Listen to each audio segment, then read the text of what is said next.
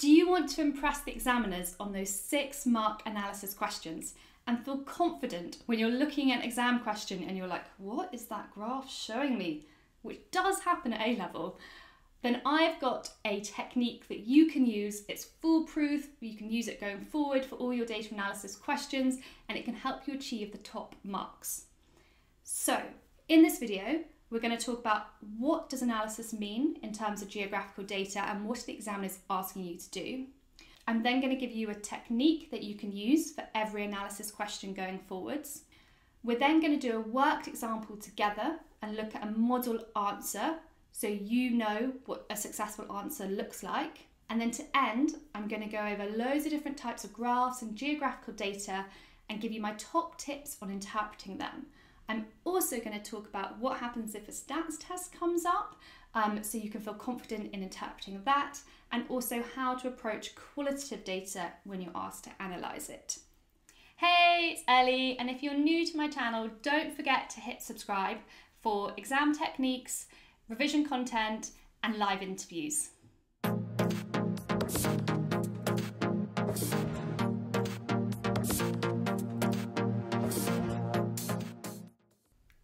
Six mark analyze question. So, what exactly is this question? So, this question, analyze the data, comes up three times in each paper your human paper and your physical paper.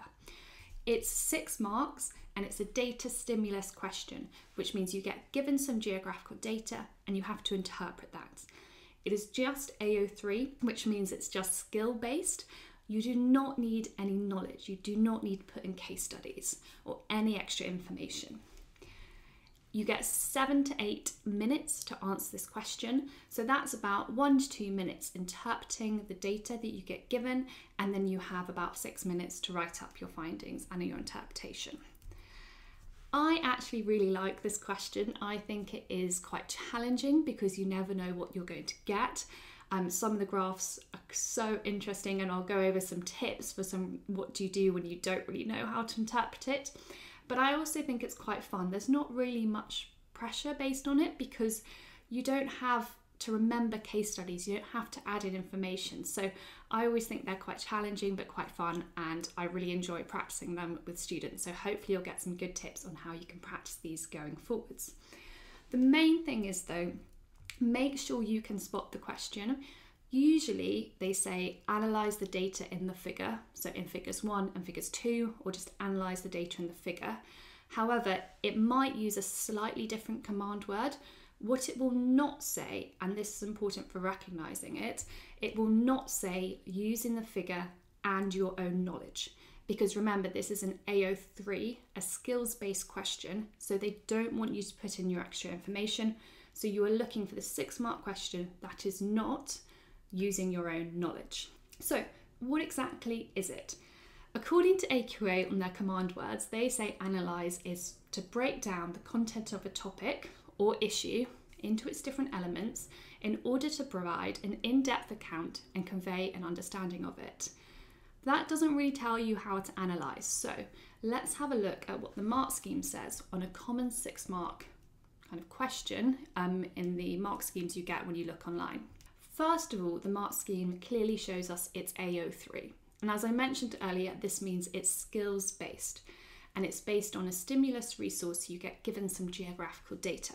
Like most of A level geography, apart from your four mark question, this is the level marked, which means that you either have a clear or you have a basic answer.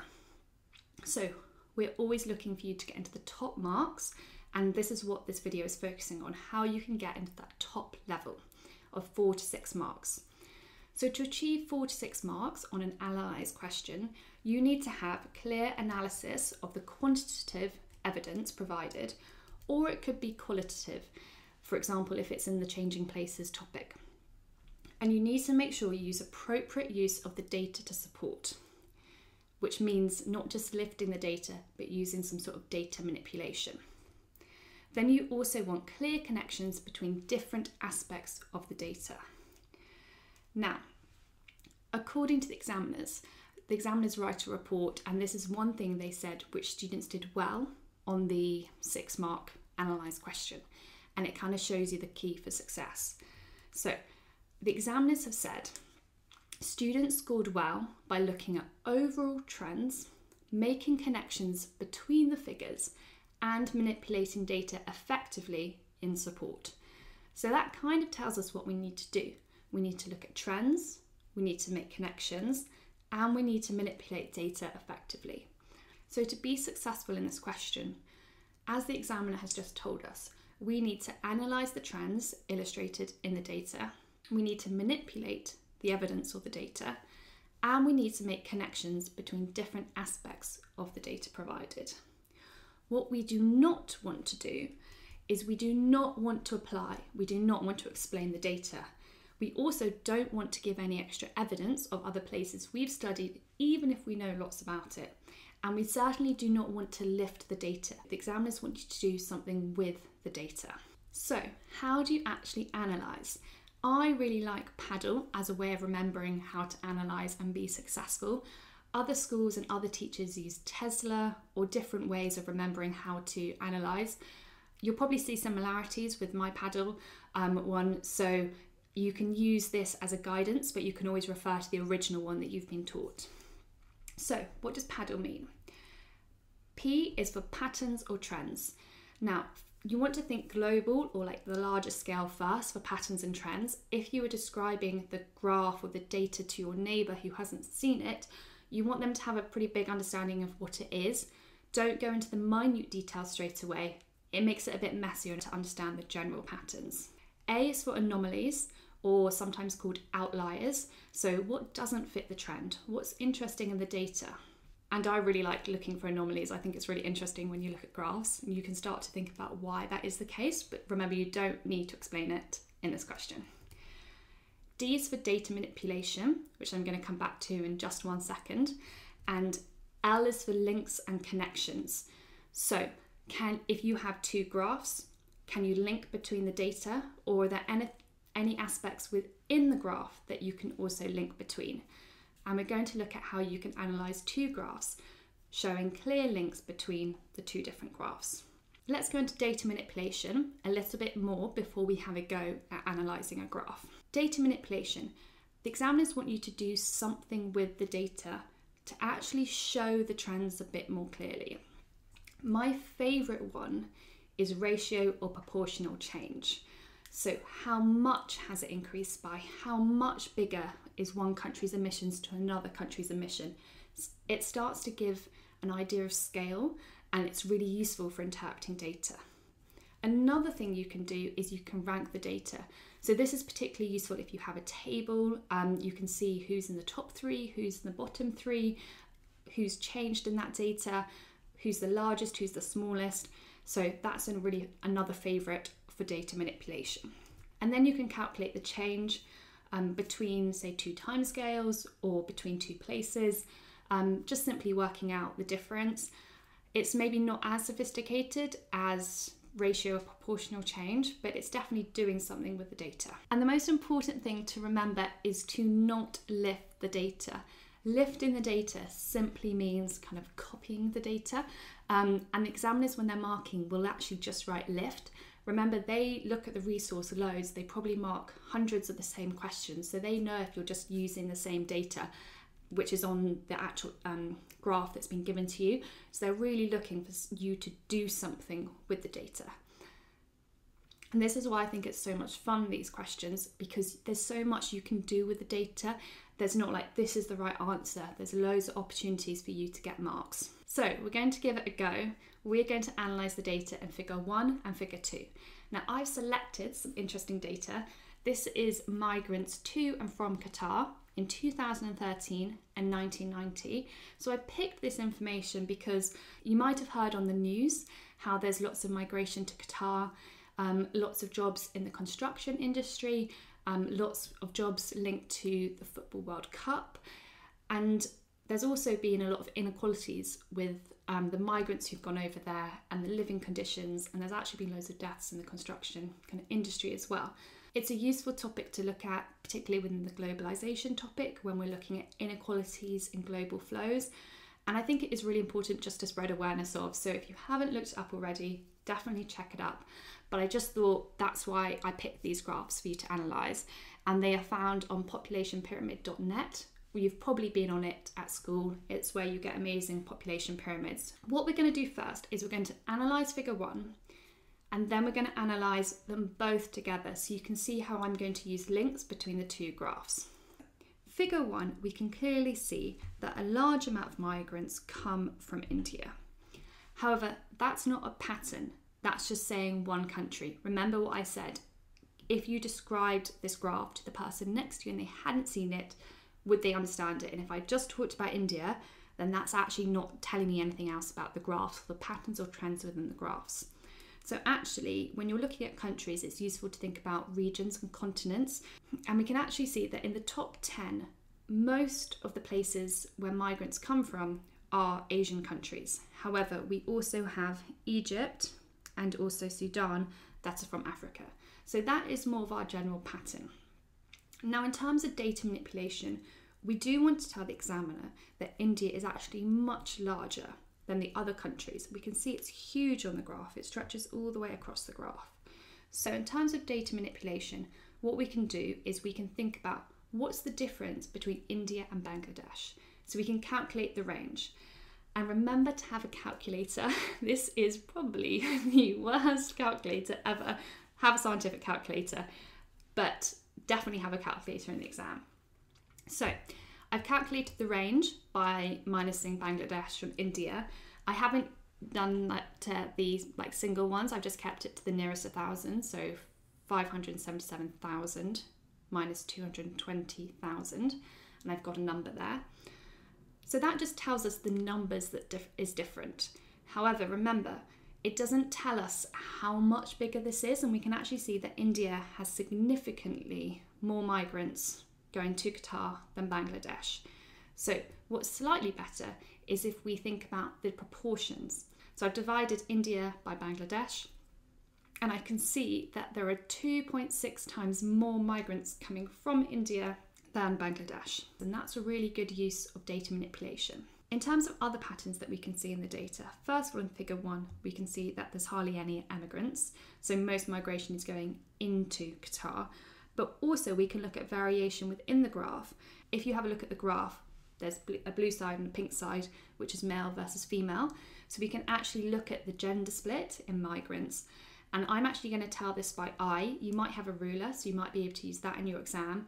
But I would say that around 80% of migrants going to Qatar are male, maybe 20% are female. And within this, we can actually see there is an anomaly in Indonesia which is more of a 50 50 split.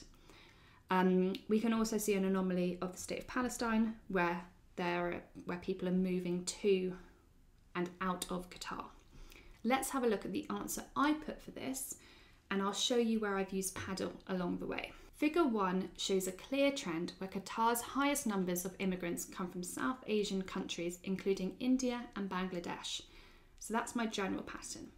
In fact, eight out of the top 10 source countries are Asian, with only Egypt and Sudan as African countries. So, again, this is my general pattern, but I've actually picked up on a variation within the pattern, or Egypt and Sudan is maybe anomalies.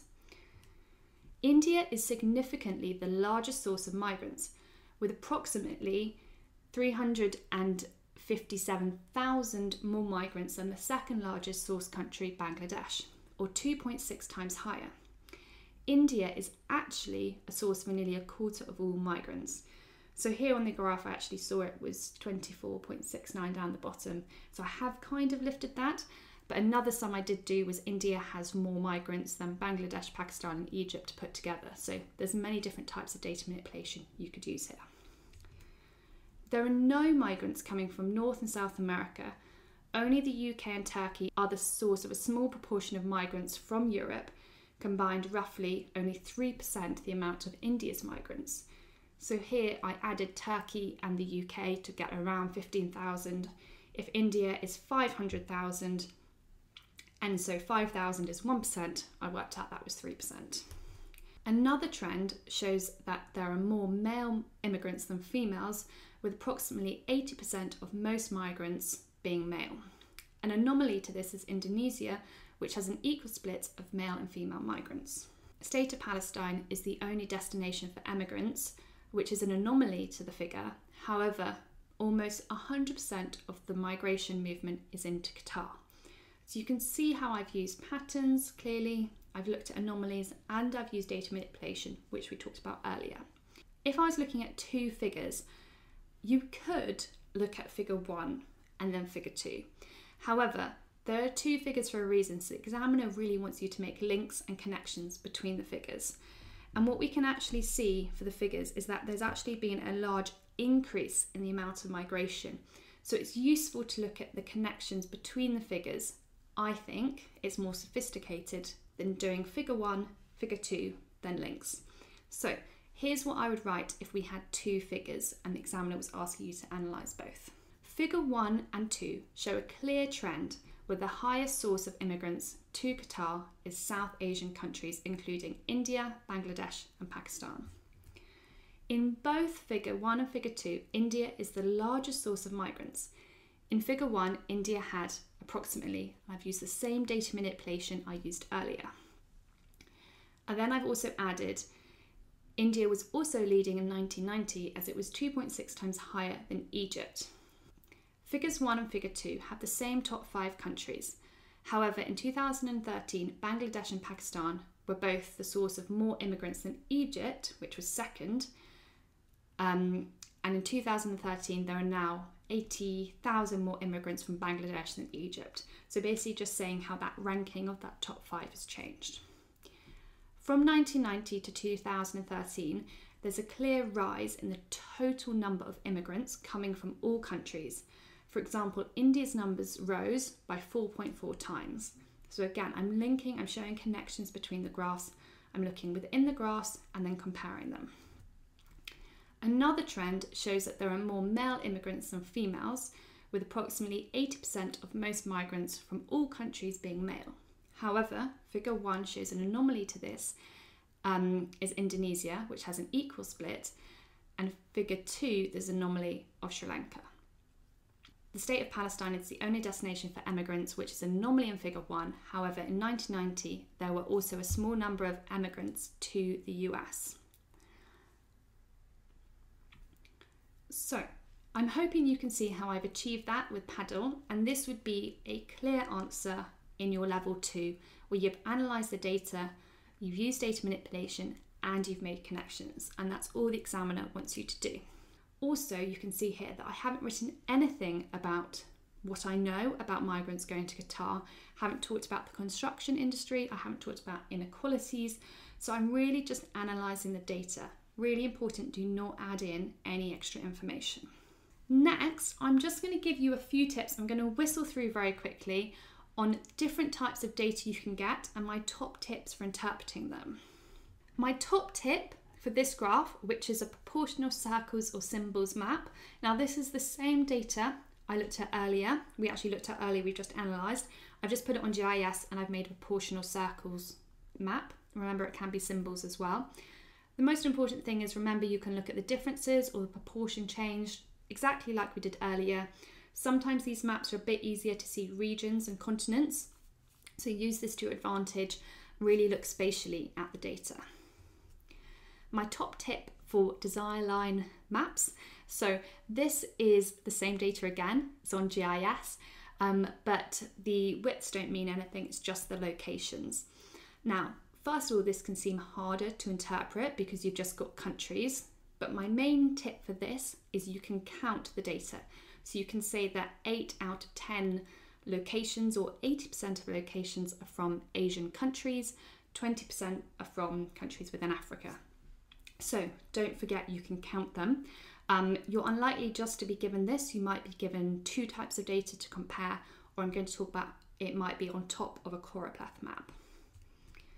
A flow line map, again, the same data we just looked at, it's just shown differently on GIS.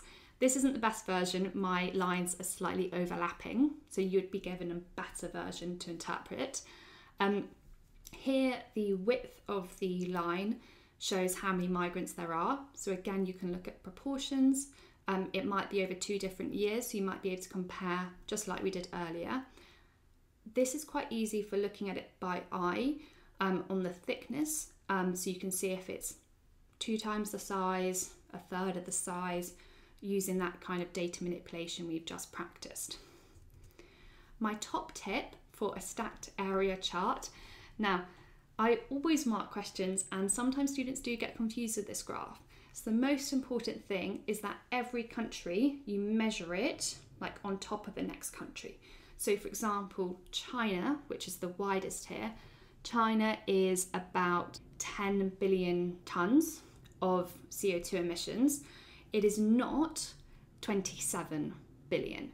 So you look at the width of it, and this is so you can actually see change over time and also see how wide it is at different areas. So you're looking for how much overall the world has like increased in steepness. So for example, from 1950, has there been any variation in the change? Has any places slowed down? Um, and just remember to add on the widths for each one. For example, Oceania is actually very small, although it's at the top. Um, it's not 36 billion. My top tip for choropleth maps, so you're probably very used to using these for GCSE. Now, just remember that you're unlikely to maybe just be given a choropleth map. You're probably likely to be given a choropleth map and a flow line map on top of it. So make sure you're making links between the different types of data that you're presented with. Um, just remember to look at the darker regions and the like um, the lighter regions, and also look at variation within continents. So this shows child mortality. So which continents have a high amount of variation? For example, Asia um, and actually North America. Which continents have a low amount of variation as well? My top tip for, and I, I hope I'm pronouncing it correctly, Marimekko charts. Basically, the axes are both useful for here. So you have the mean income or expenditure per day on the y axis. On the x axis, you have the population. So, for example, on this graph, you can see the US has a smaller population but a higher average expenditure per day, which is compared to China, which has a much higher population with a lower mean um, per day. So you can look at any correlations um, or patterns with the width compared to the height. My top tip for scatter plots. Now, um, a graph like this has come up in the exams and it's quite similar to a lot of gapminder graphs. The size of the dots or bubbles is the population size, so you can make links to the population size. Here we've got the different areas or different continents and also your x and y axis. So there's quite a lot to interpret and lots of links and connections to be made within this graph. I will talk about scatter plots and line plots in a second, but you want to look at correlations, so positive, negative, and also remember to look at anomalies for this as well. My top tip for line graphs, so this is different from a scatter plot. It might be measured over time and it's connect each dot is connected by one line, so this is per continent. Um, you can look at fluctuations or variations within the lines, um, but this is different from a scatter plot. So, my top tip for scatter versus line graphs scatter graphs are a good way of displaying two sets of data to see if there's a correlation or a connection. You often have a line of best fit, if not, you can draw one. Correlations can be positive, negative, no correlation, they can also be strong or weak. So you want to be using those words in your analysis.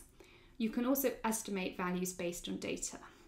Whereas line graphs are used to show the change in a relationship between two variables over a form of continuous data such as distance or most often time. Points are plotted in the same way as one would for a scatter graph, but they're joined together in a sequence. So you don't have a line of best fit, but you might have um, fluctuations when the graph goes up and down, and that's quite a good word to use.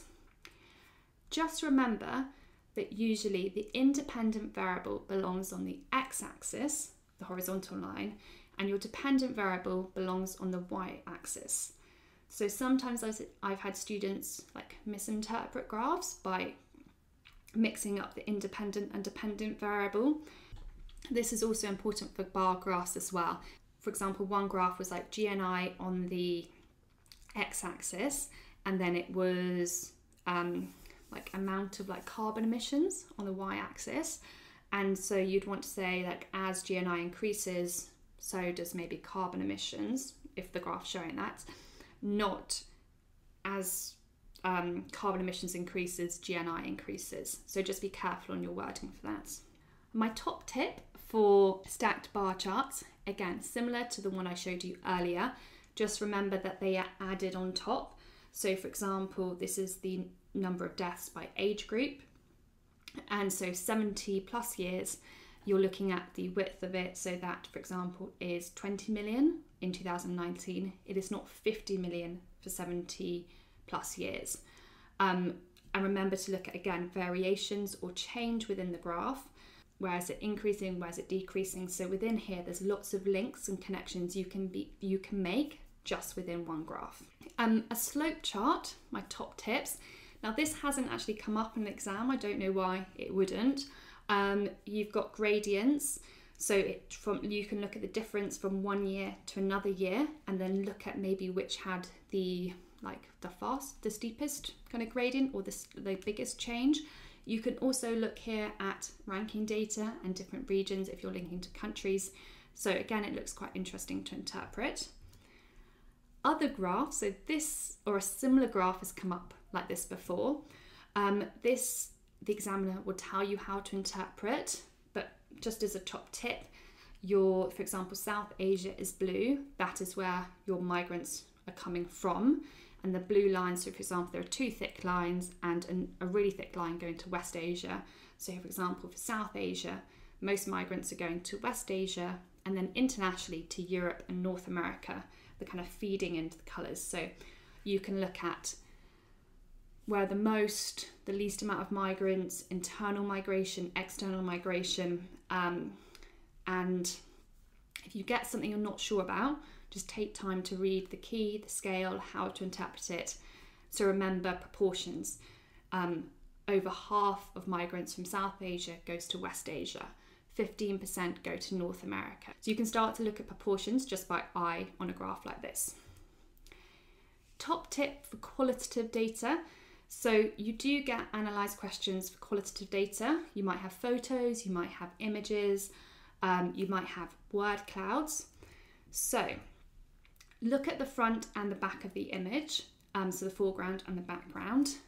Think about what's included, what's excluded. Think about the two images, what's changed, what's stayed the same. When was it taken? What's the date? Who collected the data? Is there a purpose for the data being collected? Just remember with PADL, like the other ones, you do not add extra information you only add extra information on the sixth mark that says, and using your own knowledge. And then another top tip, and I mentioned this earlier, but if you don't have numbers, remember you can count. So here, 80% of migrants come from Asia, 20% from Africa. So count and then use that to look at proportions. My final top tip is for stats tests. Now, I feel there was a stats test in one exam, but I couldn't find it but I just wanted to go over it just in case. So, a null hypothesis is a statistical hypothesis in which there are no significant differences or relationships between the set of variables. So, you're saying there is not a relationship. Statistical tests look to disprove the null hypothesis.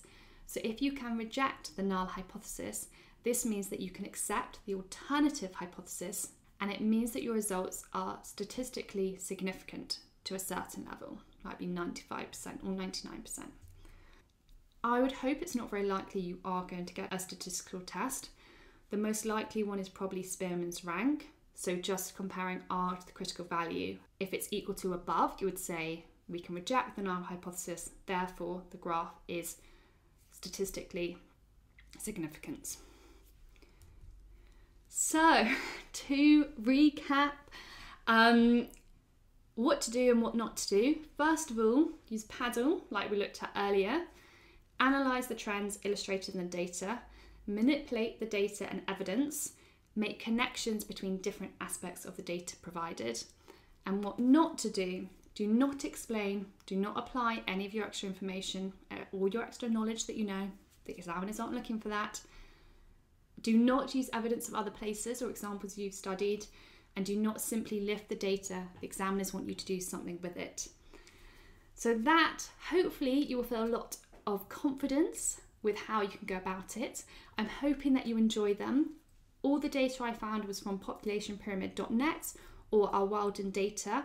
I'll put the links below and they're really good places to practice.